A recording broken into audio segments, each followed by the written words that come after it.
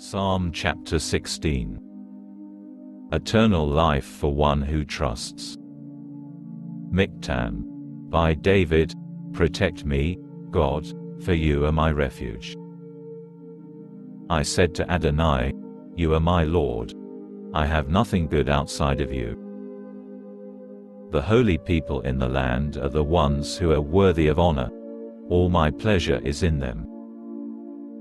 Those who run after another god multiply their sorrows. To such gods I will not offer drink offerings of blood or take their names on my lips. Adonai, my assigned portion, my cup, you safeguard my share. Pleasant places were measured out for me. I am content with my heritage.